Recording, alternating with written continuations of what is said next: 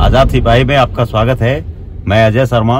अभी अभी ये सूचना आ रही है कि मांडर के विधायक बंधु तिर्की को झारखंड विकास मोर्चा से निकाल दिया गया है। उनके निष्कासन से संबंधित आदेश अभय कुमार सिंह ने जारी किया है। बंधु तिर्की पर यह आरोप है कि वे पार्टी विरोधी गतिविधि में शामिल थे। उनसे स्पष्टीकरण पूछा गया था। वे निर्धारित समय में अपना जवाब नहीं दे पाए, स्पष्टीकरण का जवाब नहीं दे पाए।